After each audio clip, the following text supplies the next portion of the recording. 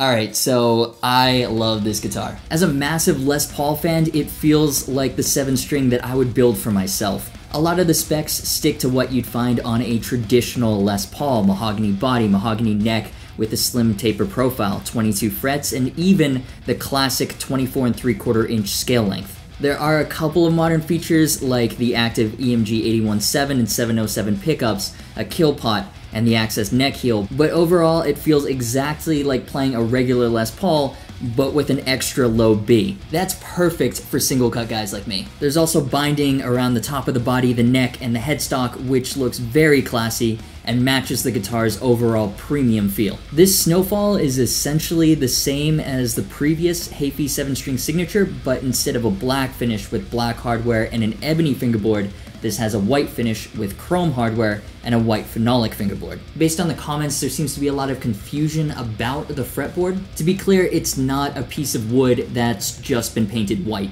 Phenolic is more of a plastic, so I imagine most of the questions about this guitar will be about the phenolic and how it compares to traditional fingerboard materials. A lot of traditionalists are wary of fingerboard wood alternatives, but personally, I really like it. Firstly, I think it looks really cool, pun intended, because snowfall. And secondly, it is very, very smooth. The Axcess neck heel also makes upper fret access a breeze, so this guitar plays fast and feels great for both rhythm and lead players. EMGs have always been a core part of Trivium's rhythm sounds on records, and this guitar comes with an EMG 81-7 and 707 pickup combination. I mean, most metal guitar nerds will probably know what these sound like through the lead channel of a Peavey 6505, but here it is anyways.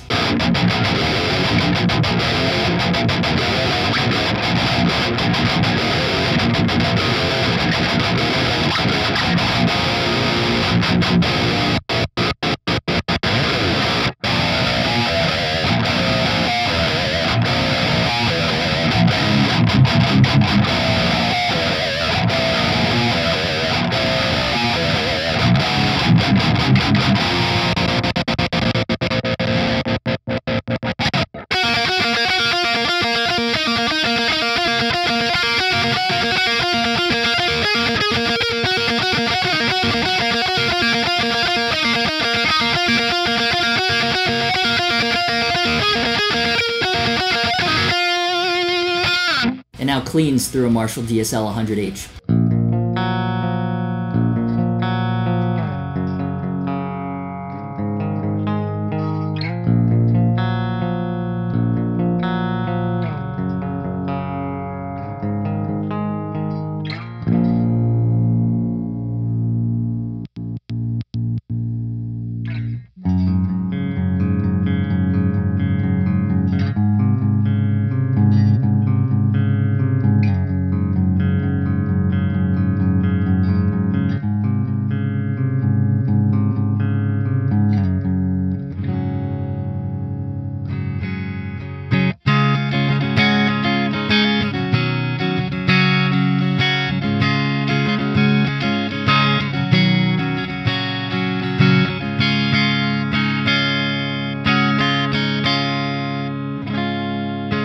So no real surprises here when it comes to tone. EMGs have a very distinctive sound. It seems to be the thing on the internet nowadays to bash them for sounding a little sterile, but I've always found them great for tracking the chugs. Apart from the guitar, for your hard-earned cash you also get a padded Epiphone gig bag, Epiphone strap blocks, and a signed certificate of authenticity. Very cool. And now it's time for arguably the most important part of the video, Simon Says, where we ask my guitar noob roommate what he thinks of the Snowfall Les Paul Custom 7. Alright, Simon, what do you think of this guitar? There's no other color but white. There's no pickguard.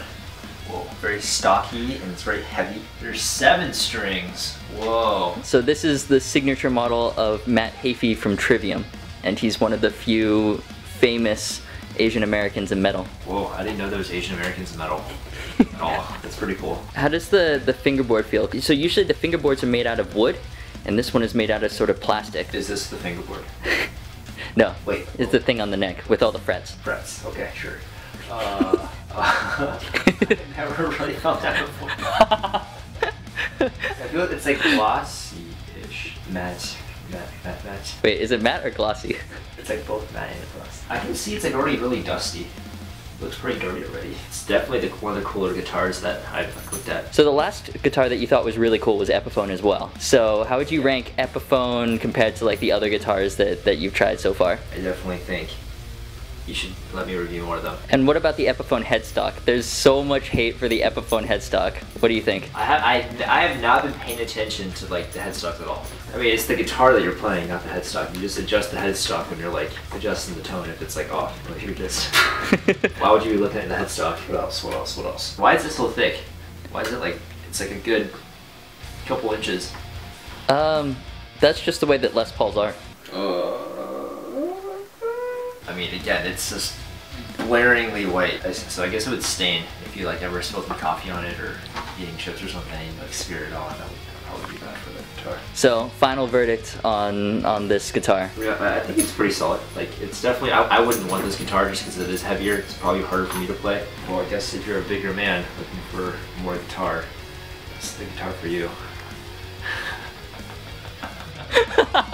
So the relatively short scale length for a 7 string is a pretty divisive point for this guitar. On the one hand, the traditional 24 and 3 quarter inch scale length is a huge part of what makes the Snowfall feel so familiar and comfortable to Les Paul players like myself. On the other hand, it can cause problems with string tension, intonation, and fret buzz. I have a massive newfound respect for Matt Heafy's guitar tech because this thing was not that easy to set up. The original Heafy 7 I demoed had been set up in store this one came directly from the warehouse with the action about give or take a mile off the fretboard, and the intonation was way off. To be fair, I'm not the best at setting up guitars, but particularly with this one, I really struggled. There's a reason most 7 strings have longer scale lengths. Getting the action low with an acceptable amount of fret buzz and the intonation accurate, especially with the low B, was a challenge and even then, there's less string tension here than the normal 7 string player would be used to. But once I got it set up to my liking, the combination of the body shape, the neck profile,